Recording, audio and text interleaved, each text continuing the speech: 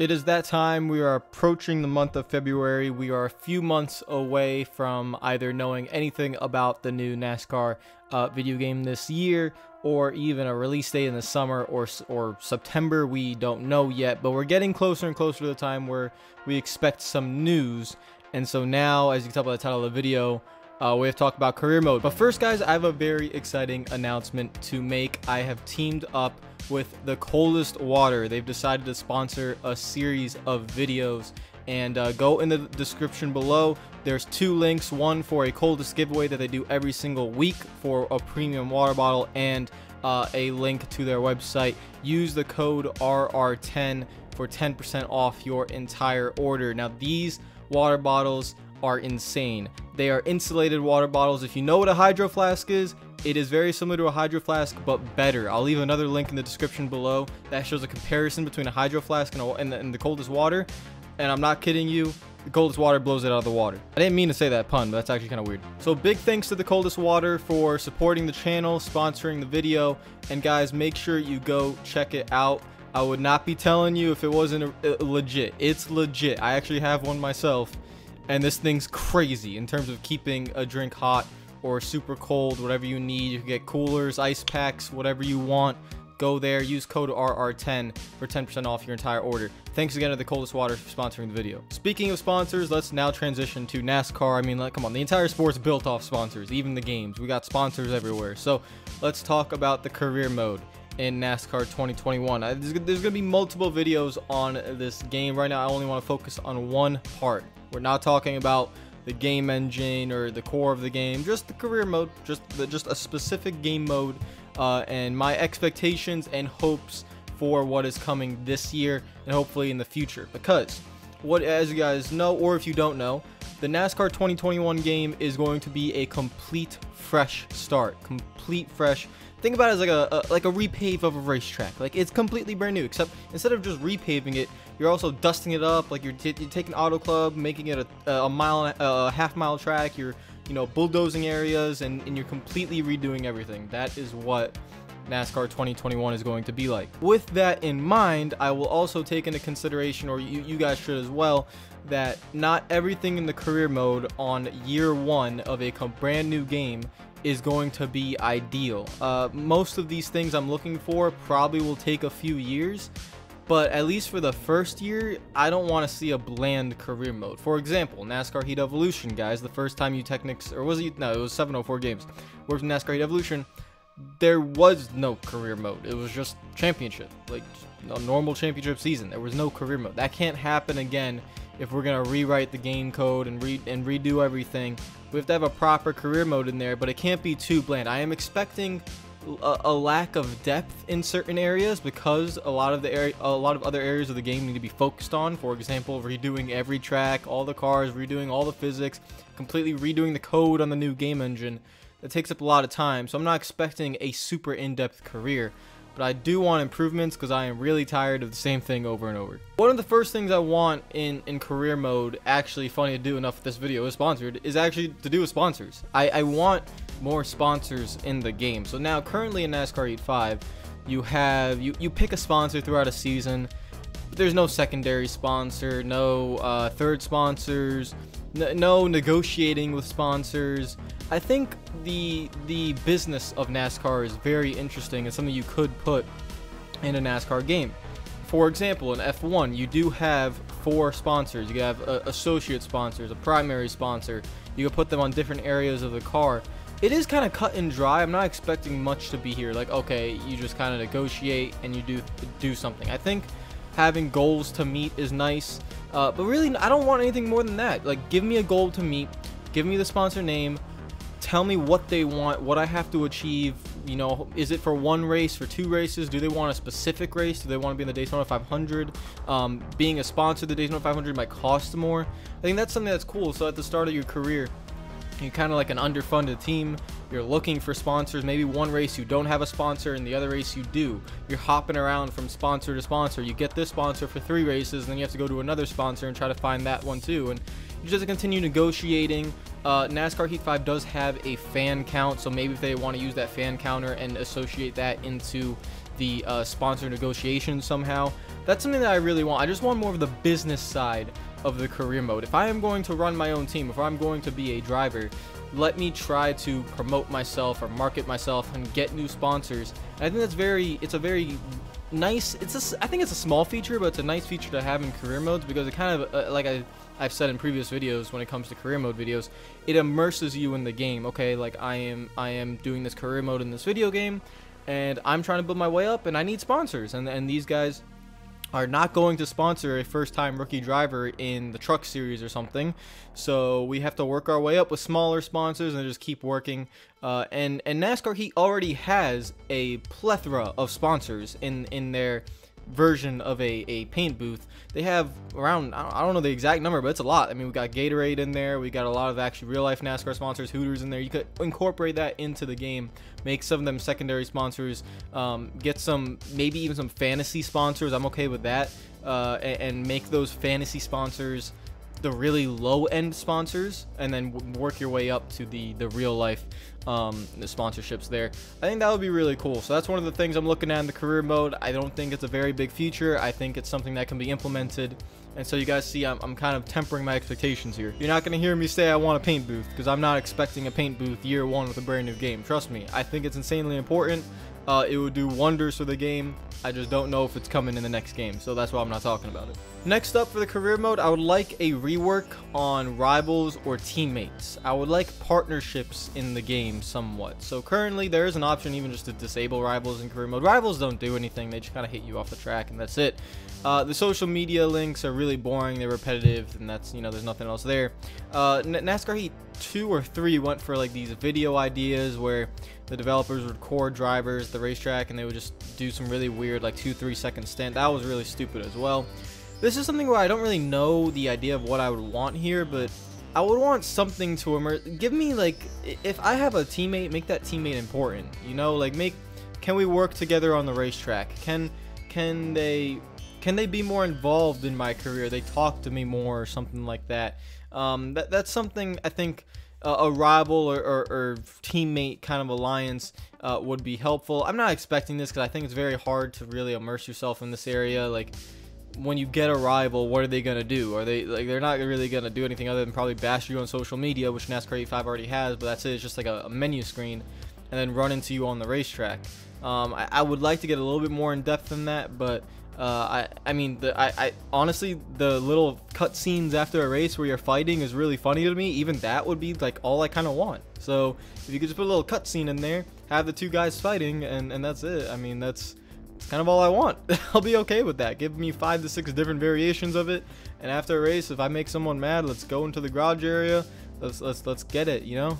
Also on the social media side, I would like fans to be involved. So I think right now it's currently only like drivers saying stuff. Just have a system that you could put um, a few hundred fans comments and and just have them kind of it, obviously it'll get repetitive over time but initially be kind of cool just can you respond to a fan?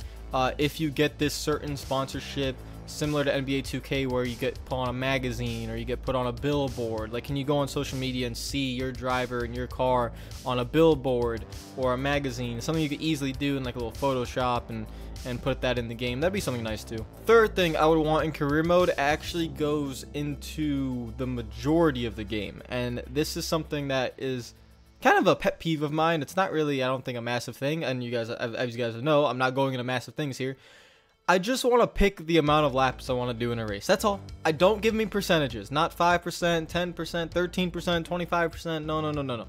Give me the full race distance that I'm available to. So if it's at Bristol, I can go up to 500 laps. If I am at Daytona, I can go up to 200 laps. But let me pick the exact eh, distance of the race I want. I think that's a very simple thing to do. I don't know why we go for race percentages. I assume it has something to do with coding with the AI. My theory for this would just have the AI coded in a way where on certain, you know, however many laps of fuel they have left, and tires, make them pit at that certain time. Let me pick the distance of the race. Just let me pick how many laps I want this thing to be. And when the AI think they're low on fuel or low on tires, they have to come down pit road. If they're halfway through a run, code them to come down pit road. Uh, I want to pick the race distance. That's something I think in career mode is very beneficial because when you have a gap between 13% and 25% in race distance, you have kind of two extremes there. 13% is too short, especially with stages. 25% sometimes can be too long for other people. Sometimes people just want to get the race over with and be a little bit quicker. There's no middle option. Just let people pick the exact laps they want a certain race. Maybe someone doesn't want to do 125 laps at Martinsville because 125 laps at Martinsville takes longer than 125 laps at Bristol. So it's just a little bit different. Number four, I have said this multiple, multiple, multiple times. Make the money matter. Now this goes back into the sponsorship thing because negotiating with sponsors will get you more money. But I didn't talk about, oh, if you get more money, then what happens? So currently in NASCAR Heat 5 and all the NASCAR Heat games, and I've talked to the developers about this, they want to make the money matter more. They just have the time to do it. So I'm hoping that they can do it in the new game. We have to have some sort of expense category. We cannot just always get revenue. So you always get revenue from the race purse, from the sponsorships, then what are you paying out? You just pay out to upgrade your car, you get your car to a max level, that's it. It's very, very simplistic, very, very just boring in a way. There has to be an expense category where if I want to be, you know, growing in, in NASCAR and getting better and better as a, as a, a, as a driver or as an owner, there has to be expenses my pit crew, my my team members, my engineers, my fabricators, my crew chief, everyone at the race shop, right? They all should have a salary that you should have to pay. Depending on the level of these guys, you could have a really high salary for someone that's really good at their job, gives you a little bit faster car, but then you have a lot of expenses. So for example, at the start of your career, you could hire a very very good crew chief. They're going to have a very very high salary Next thing you know, because you're struggling for sponsors, you might not be able to afford that crew chief, and maybe you will go uh, into the negative in terms of your in terms of your funds, and that's not good because then you're in debt, and then you got to figure things out, and maybe you'll have to lower down, and, and you can't spend any money uh, in research and stuff. Making the money matter is is so so important. That that will change the career tenfold because at that point, you have to really think about what you have to do, and there's a lot of different systems you could put in place. So not only do you have to focus on what's going on in the racetrack, you have to focus on what you're doing behind the scenes. Now, if, if you're only a driver, maybe this doesn't really come into part because you're, again, you're only a driver. You're not paying for this stuff. But when you become an owner of a team, you should really have to think about your expenses. It should not be simple as just bring revenue in. No, you should pay for repairing your cars. You should pay for research and development. You should pay for uh, upgrading your pit crew. And that is all separate one-time payments. Then you should have weekly payments of paying salary for all your team members, paying a weekly fee for the tires you have to bring to every racetrack, paying paying th those kind of things. Like race teams have to pay for tires every single week.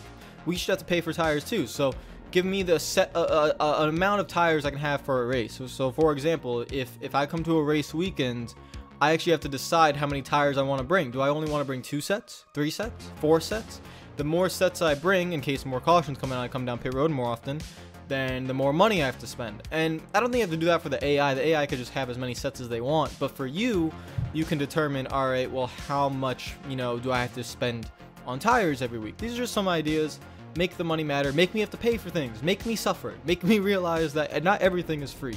That's really important. And again, that goes in line with the sponsorships. So if you negotiate with the sponsors and you, you negotiate well and you, are able to keep getting sponsors in your car, you're able to, you know, afford more things, afford better members, afford uh, better uh, people in your shop, afford more tire sets. I don't know, afford being able to go sign autographs with the fans. I know that's a funny feature that I don't think is coming back anytime soon, but still. And number five, uh, we're going to talk about stats. Now, stats is very boring to me, and I don't really care. But uh, I do think there needs to be just a little bit better stats. Just, you know, this is going to be a very short segment part of the video. Better stats, all right? Just more detailed stats, not just kind of like seven categories and it carries on through the career.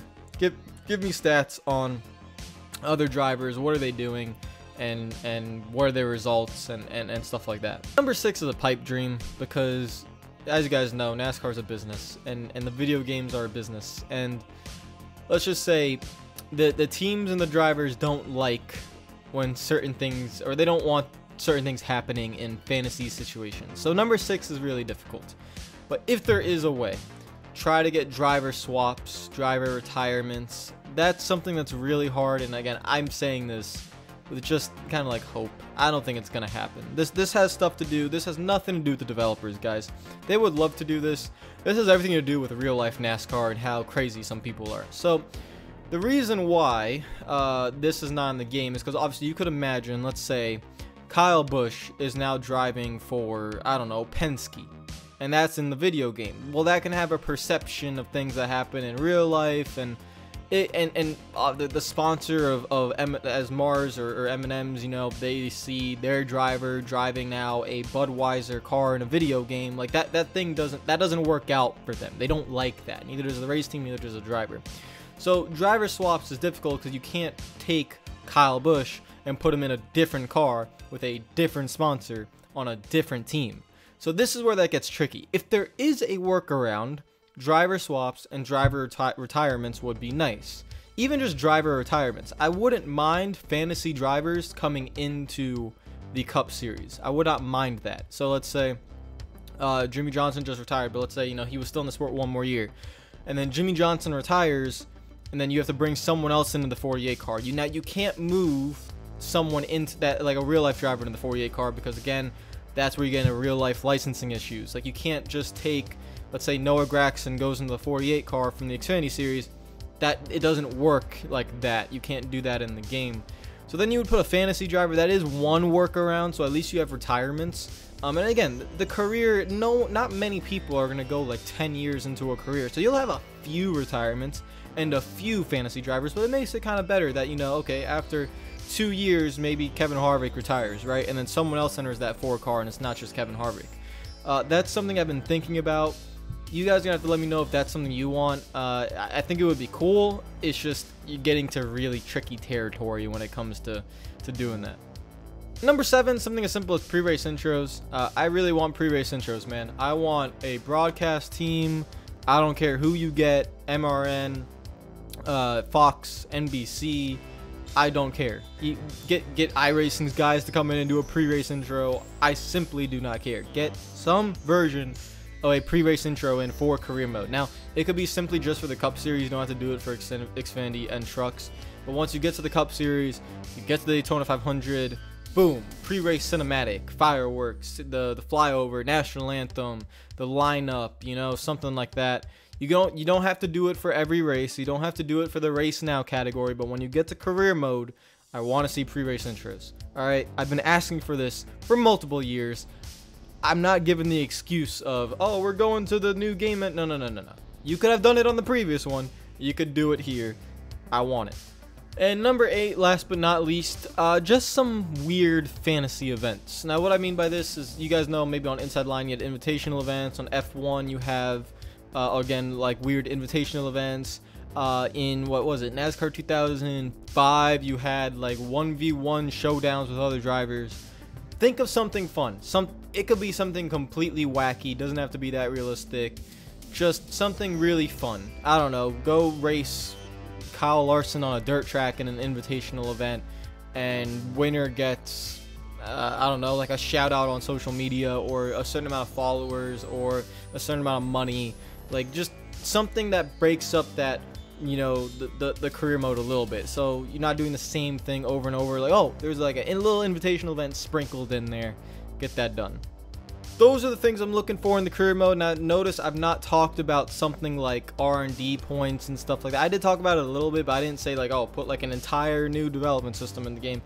I don't think that thing's coming yet. Like, I don't think you can put all those things. I, am looking at year one of a brand new game, brand new engine, brand new career mode. What can we put And I'm thinking of little smaller things like sponsor negotiations, social media, kind of you know interaction, rival and and and uh, teammate systems, pre-race intro. Those are the things I'm thinking about. I'm not thinking about paint booth. I'm not thinking about a detailed R&D system where you have 10 different categories. Uh, I'm not thinking about those things. I'm just thinking about smaller things, like for example, the money that was already in the previous game. They wanted to make it matter more. Just have expenses to that. I think these are smaller things that would make the career mode a lot better and and just be much more ideal. Um, then as you carry on through the years with hopefully this uh, again I don't know what the new engine is I don't know what it's looking like but if it is a really good engine and the game has a good core then as you go throughout the years you don't have to focus on rebuilding the whole game again, then you can really start adding the big stuff like the paint booth and like really detailed R&D development systems kind of like NASCAR Thunder 2004 then we can get into that but for now just give me some fun give me some fun that might wear out in two weeks or so but give me some fun Guys, remember, check the links down below for the coldest water. Really appreciate them for sponsoring this video. Go check the link for the giveaway. Go check the link to go buy yourself a water bottle. Use code RR10. And I will see you guys later. I'll make a lot more NASCAR Heat, or not NASCAR Heat, but NASCAR 2021 uh, videos in the future. So make sure you subscribe for that because I have a lot to talk about this new game. Guys, this new game, I know I'm hyping it up. I don't know if it's going to be good or bad, but it's going to be a really big deal. This is going to be the biggest NASCAR game released uh, in the last decade, in my in my opinion, because we're talking about this game will set the tone for the future of the NASCAR series in terms of the actual game itself, the core of the game. So this is huge. They got to get this right, and uh, let's see how they do it. I will see you guys later. Follow me on Twitter and Instagram if you're not already. Subscribe if you're new. Comment down below. Take care of yourselves. Peace out.